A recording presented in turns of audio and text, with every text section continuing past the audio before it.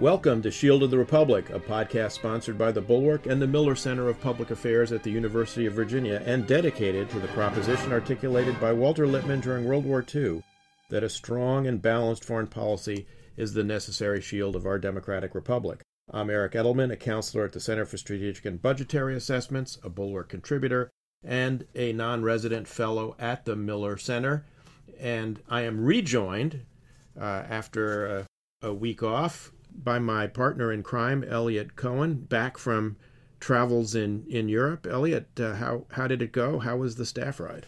So, uh, this was terrific. So, at uh, the School of Advanced International Studies, we've had a tradition now for over two decades of doing international staff rides. I'm glad to say that the practice has spread, uh, including to several that are, have been run by uh, our guest today on this trip, we were doing the Cold War, and uh, so we were in Berlin and Prague primarily, with a detour to the place that had been the headquarters for the group of Soviet forces, Germany.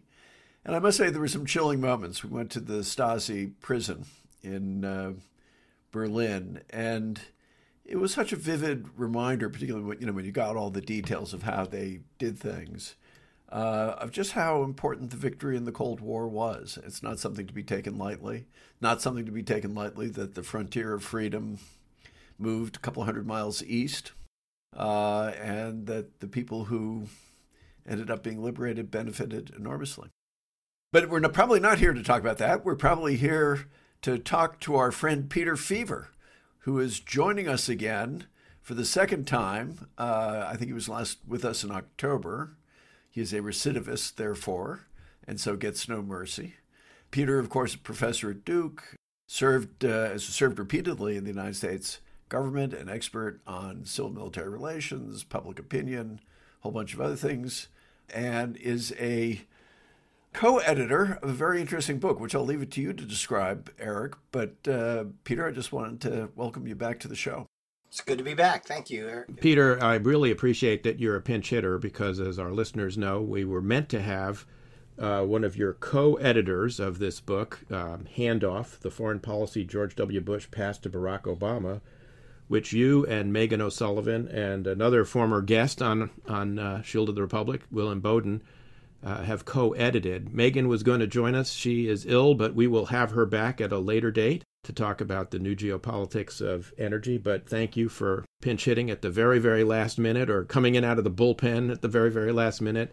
Uh, I won't use any basketball analogies because Duke is still recovering from, you know, an early out, uh, you know, in the tournament this year.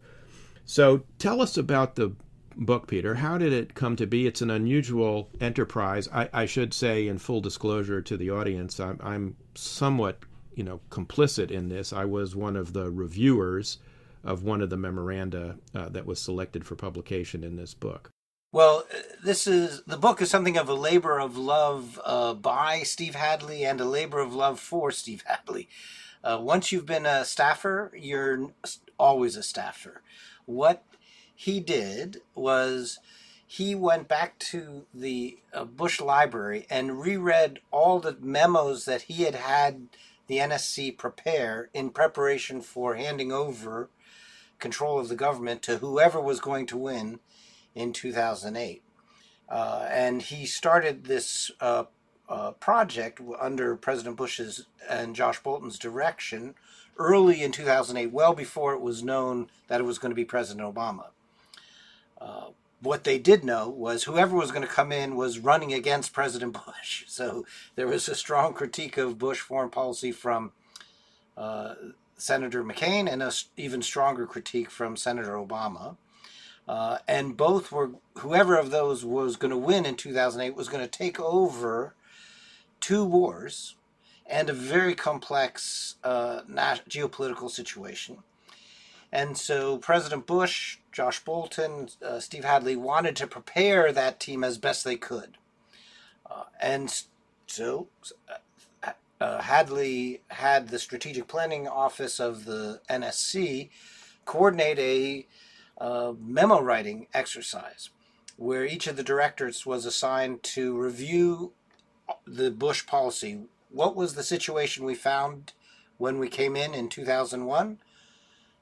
What was our strategy for dealing with it, what was the situation we were handing off to our um, successors in 2009.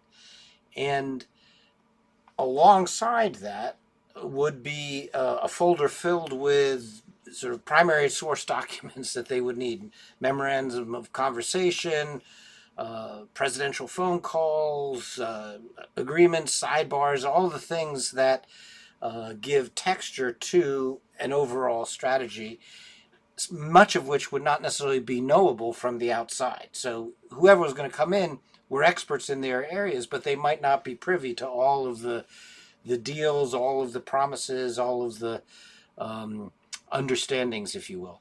And so the idea was we'll hand all of this off uh, over at uh, to the new team, and th- this was a thick binder full of memos. Peter, I did want to interrupt you for one second just to draw attention for our listeners that much of the material you're talking about that would have been added to these memos in appendices, the presidential memcons, phone calls, exchanges of letters, etc., would not be it not only were they not knowable to those outside of the government because they were classified, but they wouldn't be readily available to the new team coming in. Because tr- t- typically, uh, you know, if you want to see the flow, literal flow of power in Washington, you know, uh, during a change of presidential administrations, you go January 20th to as close to West Executive Avenue as you can get, and you'll see 18 wheelers loading up with all the documents, and they pull out of there you know, on the 19th and 20th, as all the files are being taken off to the National Archives, and a new team comes in essentially to empty file cabinets. And dig, digging up these records is, is really difficult. By the way, this is always something I have found completely incomprehensible. I mean, it's the United States government deciding to give itself a frontal lobotomy every four to eight years. And, uh, you, you know, particularly in a da- dangerous period of time, the idea that people walk into what are essentially empty desks is crazy. But that's that's another matter. One thing I, I did want to ask. So this is um, this book. It, it is unique. I've never seen anything like it. It's about the Bush administration. We're going to be talking about the Bush administration. I, I do think, out of fairness to our listeners, we should all fess up about our roles in the Bush administration because uh, well, I mean, you know, uh, we're the, the shield of the republic being what it is. It'll be tough and intellectually honest, but let's face it, we were all part of it. I'll start off since I was the most um, marginal member of the Bush administration. I served on the uh, Defense Policy Board, which is an advisory board in the Pentagon until uh, Secretary Rice asked me to become counselor of the Department of State, which is an interesting kind of position, which I did for the last two years of the Bush administration. I think it's fair to say that I was frequently a member of the loyal oppositions, uh, whether it was about Iraq or anything else, and in a way that was my very interesting job as counselor. So that's that's my Bush administration story. Eric, why don't you tell yours, and then Peter should tell his. Yeah, well, I served uh, throughout the Bush administration in three different positions. First, as the Deputy National Security Advisor to Vice President Cheney from 2001 to 3, at which point I went off to be the U.S. Ambassador to Turkey from 2003 to 5, and then uh, came back uh, to be the Undersecretary of Defense for Policy, the third ranking policy position in the Pentagon, and as a sub cabinet member, worked closely with you as the counselor and with Peter as the director of strategic planning for the National Security Council. Peter, fess up. Yeah, and I uh, flubbed my uh, job interview at the in the first administration. So in in 2000 2001, I I got uh, didn't do well in my interview, and so didn't get an, any jobs in the first term. Uh, and I did better in the second term with my job interview, and, and Steve Hadley hired me to stand up the strategic planning cell in the on the NSC staff, which I ran from 2005 to 2007 with Will Inboden, another good friend of the show. And it was this office, the strategic planning office, that then uh, eventually was tasked with creating the transition book that uh, became this uh, the book that we're talking about. And just to round it out, Meghan O'Sullivan was basically running the Iraq and Afghanistan portfolio on the NSC until when did she leave the NSC staff? Around late 2007. Yeah. So, um, so all of us had this look. I think Eric and I were actually physically there for the transition, which left me some, me personally, some strong views. But uh, you know, so you've you've got you've got the three of us here with a, a certain amount of knowledge of it. Can I, I let me, if I could begin, um, and I think you know, Eric, you've experienced transitions on both sides.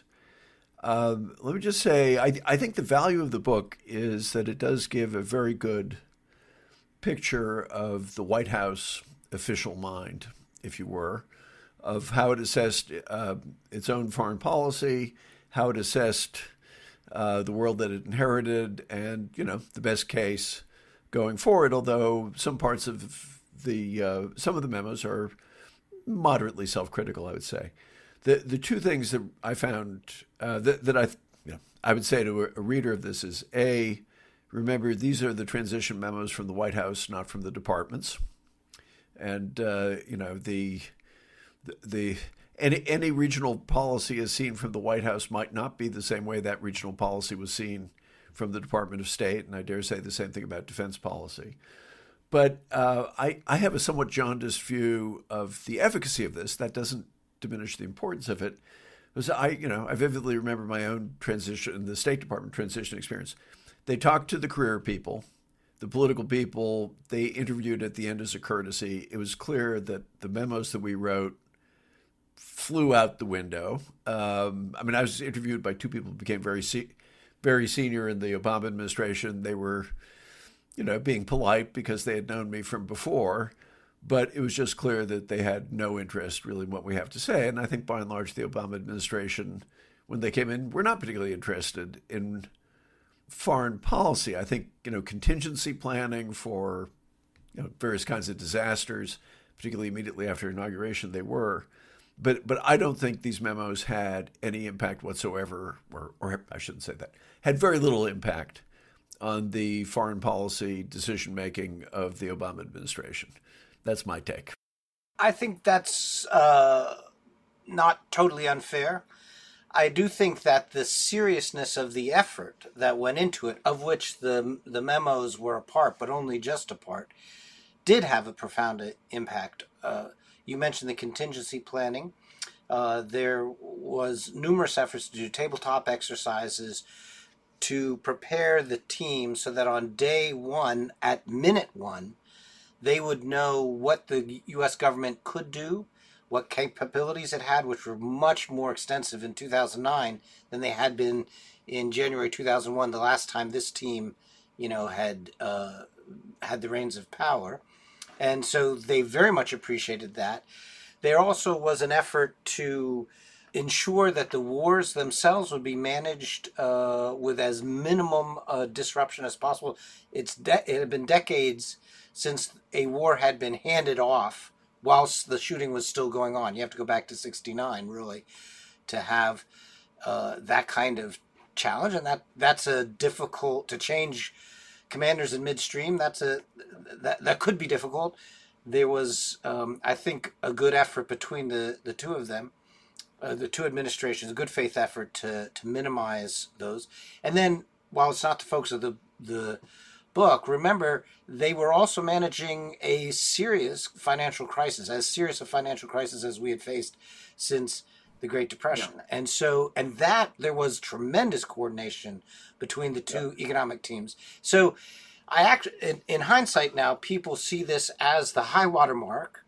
And there's two points of uh, evidence of this. One is much of what the Bush administration did voluntarily has been codified in law as now everybody has to do it, best practice.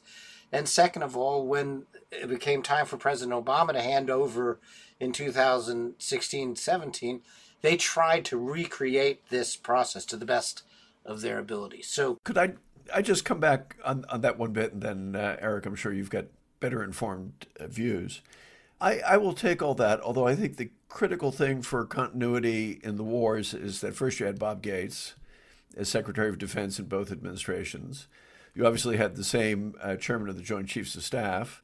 Uh, and probably most importantly, you had Doug Lute, who was the Deputy National Security Advisor for Iraq and Afghanistan. So but it is no accident, comrade, right? I mean, this was all part well, of the, well, but I, deliberate. The point is, I don't think it has anything to do with the memos, and I think the about, no, no, no, no. About, I'm not crediting the memos. I'm yeah. crediting the seriousness of the effort that President Bush took and, and, and with I, the transition. I, I, don't, I don't dispute the seriousness of the effort. I, I think you're absolutely right, by the way, on the financial crisis. But I, I also think, you know, there's a, um, and I saw this, I thought, uh, what what's the Latin uh, apologia uh, pro vita sua, where you know you're trying to explain this is why I did what I, who I am and why right. I am what I am.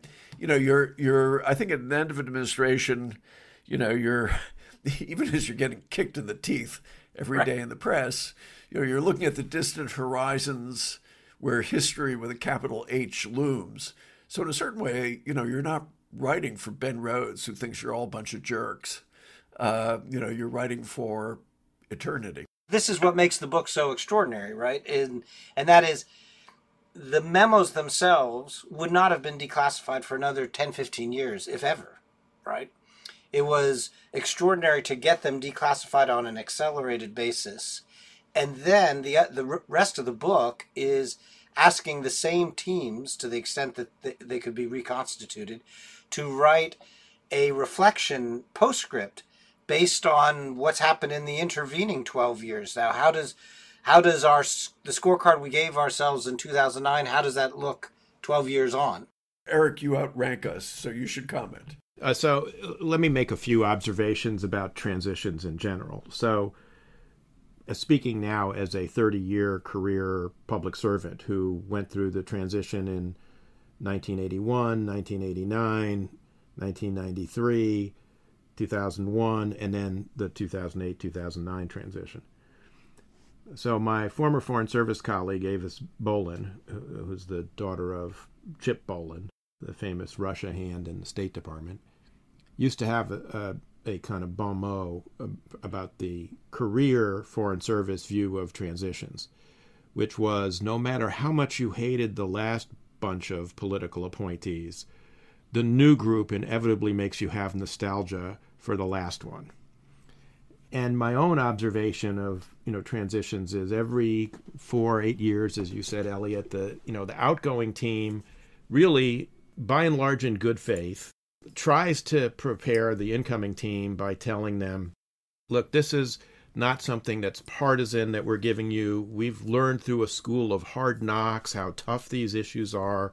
They're all tough issues you know um, and here's what we've learned we really don't want you to have to you know make mistakes you know step on rakes because we haven't warned you and and you know this is our prize pig and we hope you really love it you know and and we hand off you know something that looks like this doorstop that peter and colleagues were involved in preparing and that you and i were involved in preparing and you know in our different agencies as well and the incoming team looks at it and says, "Yeah, it's a pig," and you know throws it in the in the trash. But very soon thereafter, the incoming team starts to bump up against the realities, and their and their first reaction is to say, "Oh my God, you know the last guys were so stupid, and we're so smart. We just got elected, so obviously we're really smart." And the last guy screwed it up so badly that it's going to take us at least a year to dig out of this mess that they've created for us. Nobody else before us has ever gotten the same steaming plate of crap that, you know, our, you know, our predecessors have bequeathed us.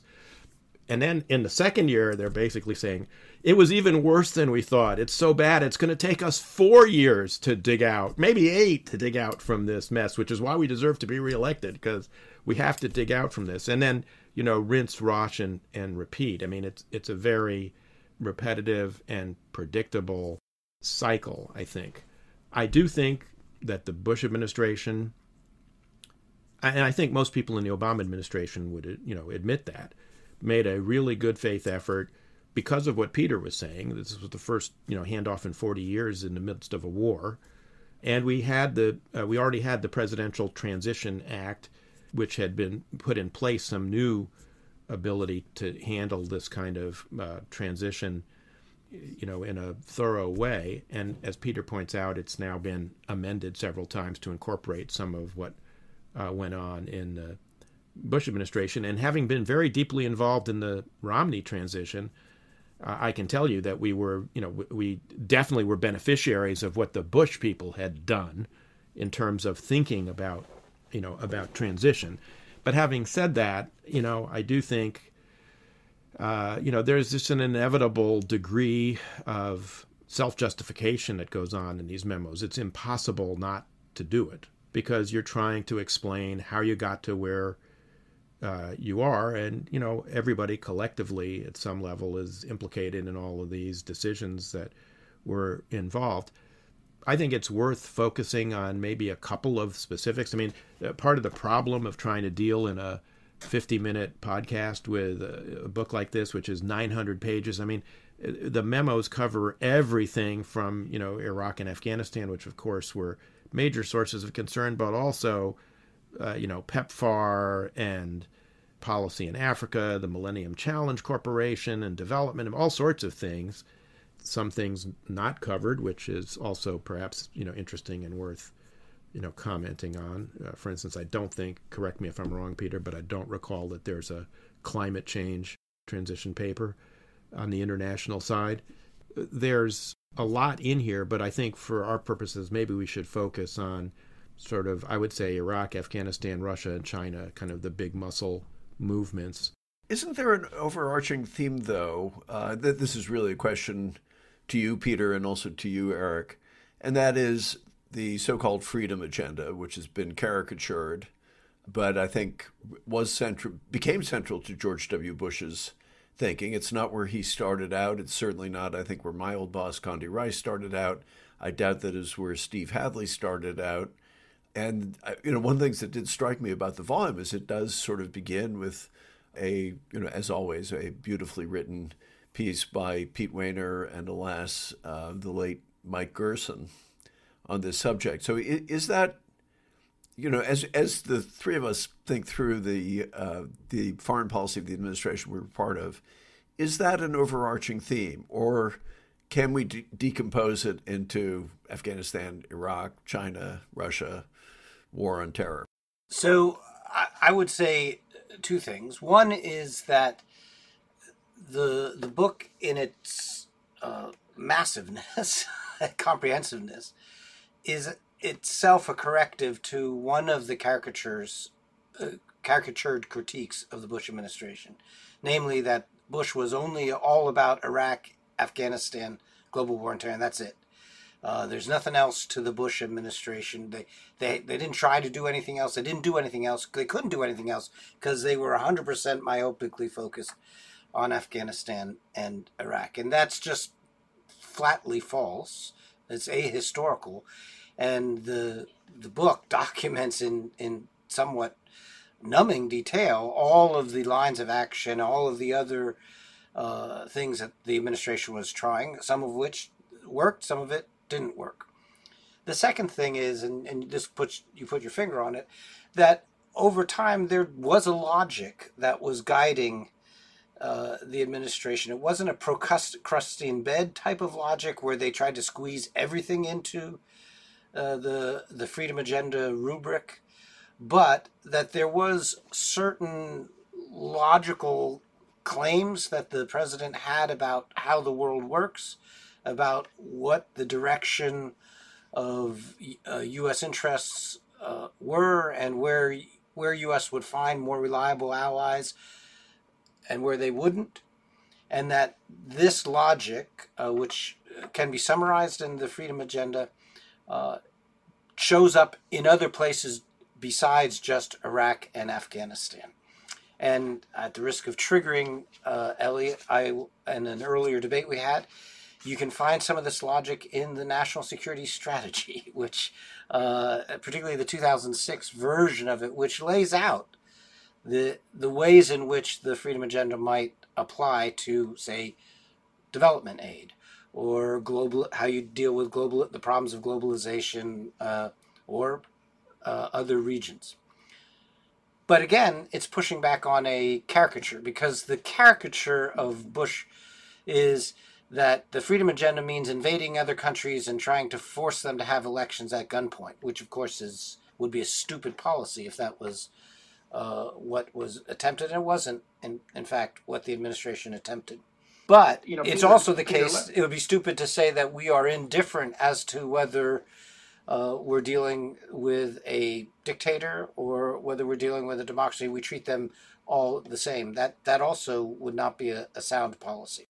I just want to pull on that thread a little bit because one of the I think really very positive qualities of this volume is not only is it an apologia pro sua vita as you know Eliot was suggesting, but there are critical essays appended both by the participants looking backwards to you know kind of grade themselves a little bit, but also independent scholars like Martha Kumar and and our friend uh, Mel Leffler who review this and and have some criticisms you know of of their own. And I think one of Mel's criticisms here is particularly apt. I mean, he he talks about the freedom agenda, but the truth is, I in my view anyway, the freedom agenda you know really was very focused on basically one you know part of the world uh, essentially. I mean, maybe maybe you could say it was also parts of the third world outside of the Middle East, you know, Africa through the Millennium Challenge Corporation and, and other mechanisms. But it's really quite striking that, you know, Russia and China were not a part in some sense of the freedom agenda, you know, if you will. So um, no, I disagree. Uh, so let me push back if I could. That you can the they certainly weren't part of the caricatured version of the freedom agenda which says we're going to topple your regime at musket point and force you to have an election. Uh, we didn't approach uh, asia that way. But the hedging strategy with respect to china took very seriously the concept that we had some democratic partners in the region japan south korea australia and crucially, India. And the perception that in the long run, India would be a better strategic partner with us, in part because of shared democratic values. That that we weren't insensitive to all the many ways in which the geopolitics are complicated, et cetera, et cetera. But at the end of the day, uh, the fact that India was a democracy was a relevant fact to the geopolitics of Asia, and therefore uh, a relevant fact to how we hedged against China. So that's the first point. The second point was the Bush administration, after some debate, made the same bet that the Clinton administration made, which they made after some debate, uh, which was the same bet that Bush 41 made, and namely yeah. that over time, China, if we brought them into the international system over time, economic liberalization would lead to political liberalization. And that bet, which of course now has come a cropper, was a open-eyed debate, bet made at the time. And when it was Hu Jintao leading uh, China, the bet seemed to have a little bit more uh, promise to it than when it was Xi Jinping. And so it was an and it was informed, therefore, a little bit by the freedom agenda, is what I what I would say. Now, in the end, in hindsight, uh, Xi Jinping blew that strategy up, and so we have a very different China today. And I think it's worth asking: Could we have done something different in the in the eight years that Bush had with China that would have put us in a better position today vis-a-vis China? I, that's a hard bet to make. Eliot, let me just uh, let me just address some of what Peter said, and then I'll be happy to kick it back over to you. Um, so, Peter, all fair points that you make, but I think there's a flip side to that, where the the freedom agenda, you know, is not in evidence, and that is, and you're you're correct that the administration made the same bet on both Russia and China that the Clinton administration did. But and I would Obama argue, and, and Obama and, made the same bet. Yes. Yeah, and I would say that that you know in 2007, by 2007 and eight, although it was Hu Jintao and not uh, Xi Jinping yet, my view is it should have been clear already that in both of these cases, the nature of these regimes was going to make them very serious problems for us going forward. There were already plenty of signs of it at the time, and that I think in in this instance, I you know I in the spirit of you know criticism, self criticism, Maoist self criticism. Yes, I, I would I would say that you know there was a huge opportunity cost to the fact that we were very focused on Iraq and Afghanistan. I certainly in the Defense Department when I was there from 2005 to 2009, that was my overriding concern because we had 225,000 U.S. soldiers, sailors, airmen, and Marines uh, in the CENTCOM AOR fighting two wars. And, uh, you know, it's very hard for any administration really to have much bandwidth left after that. I'm not saying we didn't do all these things that you are talking about and that are reflected in this, but I think we missed a bet. Um, you know, on on Russia and China, there was an opportunity cost to the focus uh, that we had on on the 9/11 wars, and I, I I think it's a mistake to just sort of whistle past the graveyard about that. So, I, if I could uh, just pile on that, you know, with regard to uh, the idea that our relationship with Japan and Australia, India is part of the freedom agenda, I, I don't really buy that. I mean, it, seems, it is, you know, as in ways you just pointed out, Peter, it's a result of continuity of American foreign policy from Clinton. And, and the truth is, you know, we don't like to admit it. There's actually a lot of continuity in American foreign policy, which makes one again kind of doubt the significance of all these memoranda. There's a there's a logic there uh, you know, could we put ourselves in a better position vis-a-vis China? I, I think one of the big mistakes, and here, uh, you know, I'm, I'm very sympathetic to the freedom agenda. Uh, don't get me wrong, but you know, one of the mistakes so that I. I that that I think gets made is to assume that we can really, in very important ways, affect the internal dynamics of uh, societies like China or Russia. And I think one of the things that we're learning is whether it's China or Russia. Actually, there was no way that we could really turn those in a more liberal direction. There were very powerful internal dynamics which are pushing in the other opposite direction. So, what was incumbent upon us was to try to contain that, block it, subvert it. Uh, but but I think a mistake to think that we could we could really change that, and and I I do think that is somehow connected with some of the irrational optimism in some parts of the government, not all of it, about what we were actually achieving in Iraq and Afghanistan. And, you know, I, as counselor, my job was chiefly to walk into the secretary's office and say, I know you think that things are going reasonably well. My job is to tell you I've been looking at the evidence and it's and it's not. And so I do think that there was a certain degree of intoxication with this, and there was never really, particularly on Iraq and Afghanistan, one of my critiques of how we, and I say we because I was part of the administration too, of, of how we approach is we never really set ourselves, okay, what's a reasonable set of expectations for a place like Iraq or Afghanistan? I mean, we know that we're not going to turn them into Sweden. You know, should we be satisfied with a not excessively thuggish dictatorship? And instead, I think we, we never really went through that setting of the you know a, a reasonable target. And then the last thing I want to do is really just uh, I think Eric, your point needs to be made even more strongly because a large part of foreign policy is words, and words are very important. And you know, in that sense, memos are important. But the main thing is those wars really prevented us from putting the money into defense modernization that we really needed to.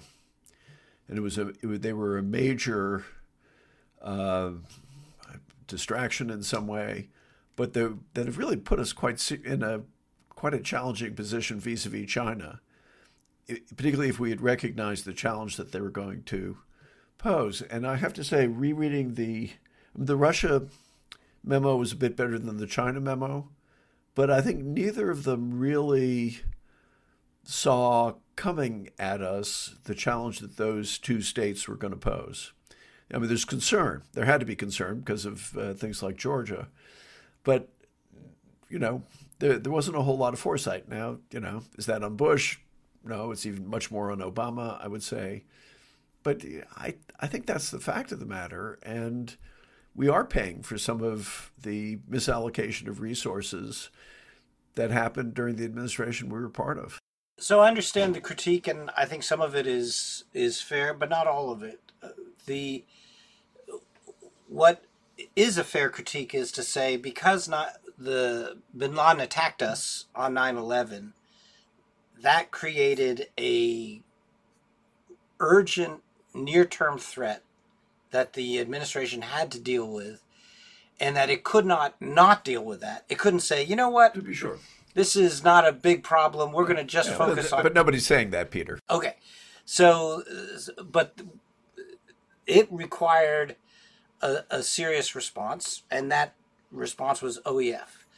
Uh, and we can have a debate at the the invasion of Afghanistan, um, and we can have a debate about well, was there a better outcome that was possible in Afghanistan if we had say resourced it more heavily in 2002 and 2003 I- so is the counterfactual that you're arguing that the uh, Afghanistan was winnable, but it was only winnable if we made different choices in 2002, 2003. Uh, for my for my money, the the hinge, the turning point in Afghanistan was in 2006 when Musharraf cut the deal with uh, with the tribes, and that's when Afghanistan went from a manageable problem into a much more uh, serious uh, problem because, of course, the tribes didn't honor their agreement. They lifted up pressure on the Taliban, and the Taliban was able to reconstitute as a regime-threatening uh, problem. The SIGAR lists all sorts of other problems that went wrong in Afghanistan, but but really, you're either saying Afghanistan was never winnable. Okay, then what were you going to do on in October 2001? Or you're saying it was winnable, but it needed to have been won before Musharraf makes this deal. And I, I haven't heard a, a an argument that uh, you know is compelling to me about how we could have won it differently. So that's Afghanistan.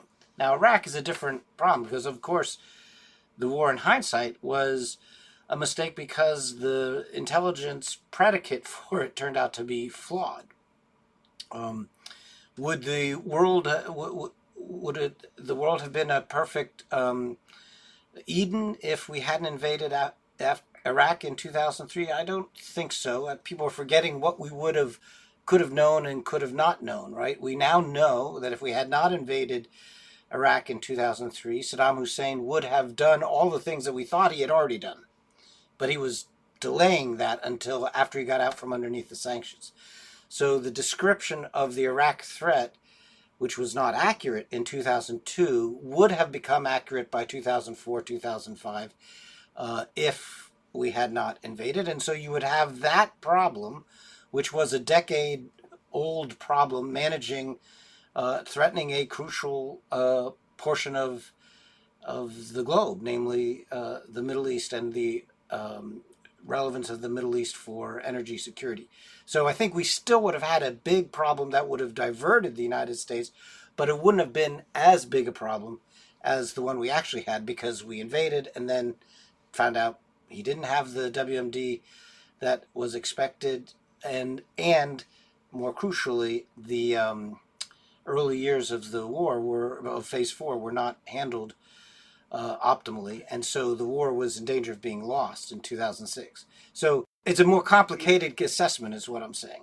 So, so I, you know, for my sins, I spent most of my time in state working on Afghanistan, uh, and including going there and to Pakistan a lot. And the conclusion I came to was the problem wasn't Musharraf in 2006. The problem was Pakistan, and there was no way that the Pakistanis were ever going to let us stabilize an Afghan regime that was not under their control.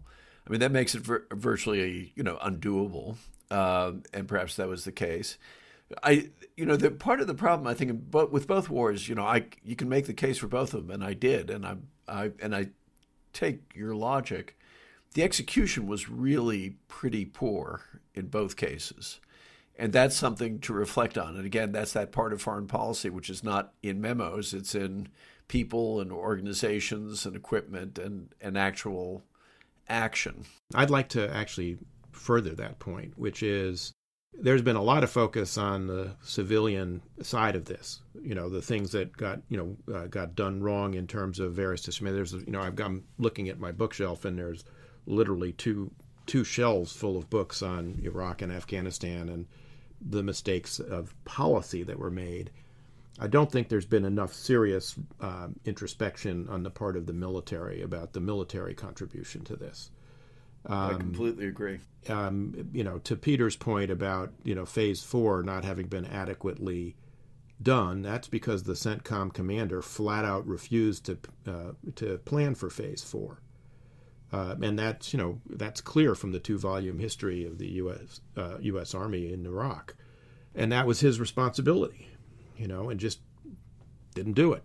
So I mean that's just one example among many uh, that you know could be offered, and I think that's an important thing going forward. There really has to be uh, some uh, much more. I think that's a task for scholars, frankly, uh, to you know do a kind of no holds barred review of how the military actually performed in these two wars. There was a lot of heroism. I don't mean to you know minimize the uh, sacrifices that individual families and, and soldiers made, but there also were some you know very serious, I think, command failures uh, which I don't think have gotten adequate attention.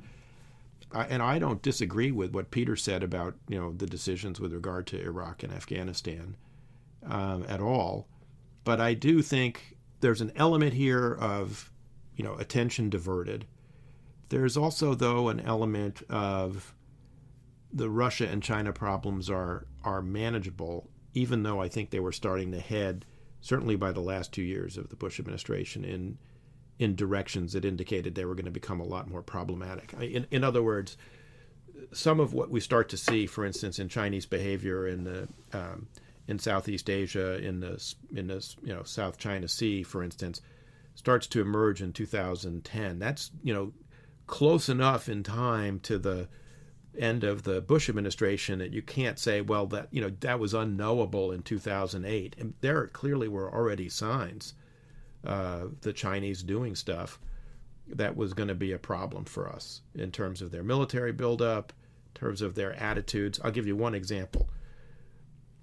President Bush asked Hu Jintao when they met, I can't remember now, Peter, you'll remember better, it was like 2005 or 6, wanted to start a dialogue on nuclear weapons and have a dialogue between STRATCOM and the then Second Artillery Division, which was responsible for nuclear weapons in the Chinese system. Never happened for three years. Couldn't get it to happen. Still hasn't happened after efforts by serious efforts by both the Obama and Trump administrations to try and get that kind of dialogue going. And now we're looking at the prospect of 1,500, you know, Chinese nuclear warheads in 2035, according to the Pentagon's China Military Power Report. That was already a trend that was discernible, you know, in 2006-7. We we should have been more alive to that. I'm I'm this is really self criticism. I, I myself think uh, you know I wasn't uh, you know attuned enough to this in retrospect. Well, I'm happy to criticize both of you completely, uh, and I feel very comfortable doing that. But I, I I would add two other dimensions, and that is that the trade dimension and climate change, and both of those play in slightly different ways than the narrative you've struck now, which is uh, because we were obsessed with Iraq, we couldn't do anything with respect to China. The Bush administration what was building a trade policy, a global trade policy that was designed to uh, hem in China is, too, is the wrong word, but it was designed to create a rules based system that would uh, pressure China into playing fairly. The problem is not competing with China. The problem is competing with a China that doesn't play fairly. Uh, and the or the original idea of the the uh, CTP, the um, the Asian uh, trade architecture, was designed at late Bush administration and then handed off to the Obama team, and the the expectation was they would move that down and and get that cemented in and then you would have an economic architecture that would help manage the rise of China in a more effective way than we have now without it. You could say that uh, uh Bush should have, should have gotten further on that in 2008 than he did. Okay.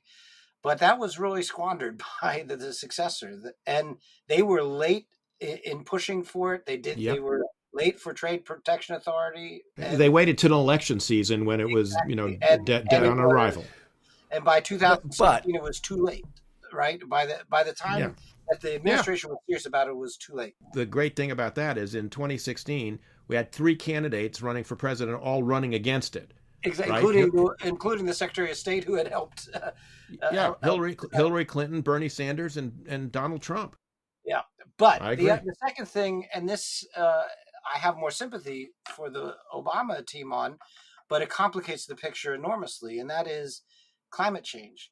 They had a theory of the case that climate change was an existential threat to the United States, and you cannot have a game changing approach to climate change in 2009 without engaging China. You just can't. Uh, and so they had to, they, Obama had a strategy that said we have to engage with China, cooperate with China, and so it was a it was not a confrontate confront China, it was an engaged China. In fact, they were flirting with the G two idea of you know a condominium of these two great. But, but I I think that I think that was naivete, Peter. I I mean I, yes, it, was it was necessary it, for climate change. That that's not on Bush, right? That, that the point is no no it, it it's not on Bush, but but that would have done that yeah address. But here is here is what is I think on the administration we were part of. I you know I think it's not so much that they the people were so well people were very busy with Iraq and Afghanistan, and I vividly remember, as I'm sure Eric does, going to all those. Uh, meetings of the principals and occasionally NSC meetings, you could just see people were completely exhausted and drained by F, by Iraq and Afghanistan, and just the desire and knowing that they were deeply unpopular, just wanting to get out with their skin intact. But, but I think there's another element, which is, and, and in this way, I do think the way the freedom agenda was framed distorted things. So, was it in the second inaugural that President Bush talked about ending tyranny as an objective, which, forgive me, that was Looney Tunes. In fact, I think I said that at a private meeting that you you invited me to, Peter. Uh, I think John Gaddis came up with that phrase, actually. John John Gaddis came up to it, and with all due respect to John Gaddis as a formidable historian, it's Looney Tunes, and I, I was dismayed that it, it got into the president's speech. But the point is, if you're if you're framing things in that way, it's very hard, I think, to then say the problem is we've got two big powers here, one really big, one's still kind of big, and with lots of nuclear weapons, which are revisionist which are hostile, which are you know developing their militaries very very quickly, which are not going to be amenable to kind words or you know playing by our by the rules of the international system as we conceive them, and we need to be ready to deal with that in a somewhat realpolitik, not entirely realpolitik way, but in a somewhat realpolitik way. So I, you know, in that respect, I do think um, the Bush administration made a mistake. Now, uh, the last thing I'll just say on this, because I see we're, we're really pretty close to the end. You know, there, there's an interesting issue, I think, for all of us, for anybody who's been in an administration. You know, what what blame do you take for what happened, or what responsibility, I should say, or accountability, do you take for what happened on your watch, and how much, you know, is really depends on the the people who took the next watch, and what you know, what is it, what are the things we should feel badly about? What are the things the Obama people should feel badly about? But I, I do think this is one where the framing that the Bush administration used blinded them somewhat to something that you could see coming around the corner. And that was really pronounced under the Obama administration, which, particularly with regard to Russia, but with regard to China too, just did not want to see this coming. Well, my homework assignment is to read chapter ask you to read chapter two of the 2006 NSS, where that phrase "ending tyranny" is defined. Uh, and it's not quite as grandiose uh, in its. How could it be anything other than grandiose, Read chapter Peter? two, and we'll we can reconvene. no, no. If you can't, if you can't explain it in two syllable so, words to our listeners, forget about it. Yeah, this is where if you had Will Inboden uh, here, you would you would get it. It it's not ending all uh, abuses of human rights around the world in our time. It's ending a particular form of government. Not all autocrats are tyrants. It's a particular form of of uh, autocracy. So, so is, is Putin Singapore is, is, not an is not a tyranny. Okay, uh, is Putin a, is Putin a tyrant?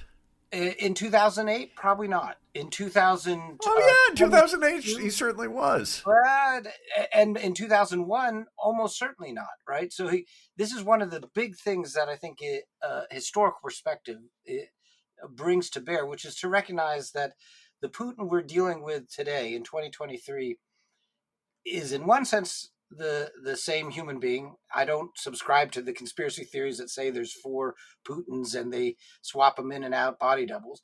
In one sense, he's the same Putin.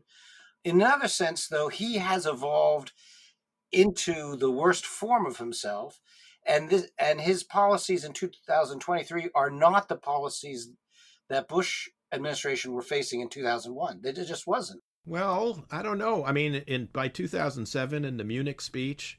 Okay, uh, but and, that's 2007, not 2001. And by 2000 and yes. by 2008, the the invasion of Georgia. I mean, I think right. the writing was pretty clearly on the wall.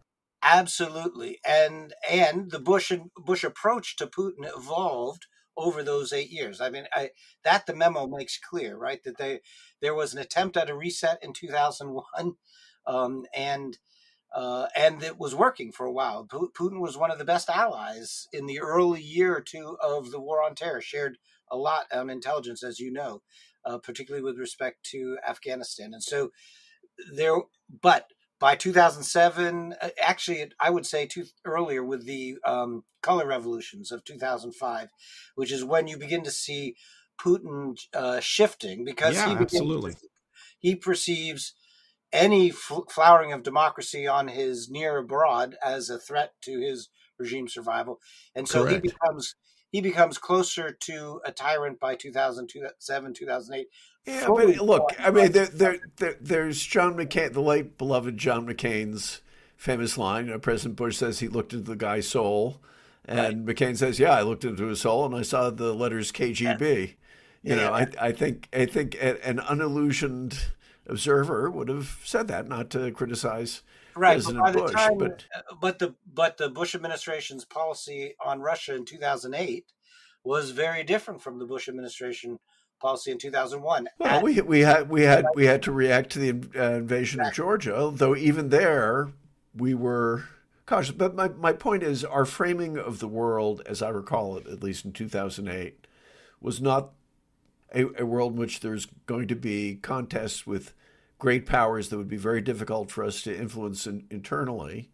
Um, and it was, it was. I'm sorry, there's just no way you can turn the language ending tyranny into, you know, kind of a reasonable view of what you can do in foreign policy. I'll, I'll let Eric adjudicate this no, one. I, am not going to try and adjudicate, uh, you know, between former pupil and student. I mean, and teacher. I mean, that's that's not my my job here on Shield of the Republic. But I, I, we are going to have to bring this to an end. I, I would just point out to our listeners that we have spent almost an hour vigorously discussing maybe 80 pages out of this 900 page tome uh, in terms of the material. Maybe it's 100 pages out of 900. But I do think this is a very rich uh, historical resource. Uh, it's a real achievement. I, I, really take my hat off, Peter, to you, uh, Will, and Meghan for uh, doing all this, and for Steve Hadley uh, having you know undertaken uh, this project, which I do think serves the greater good.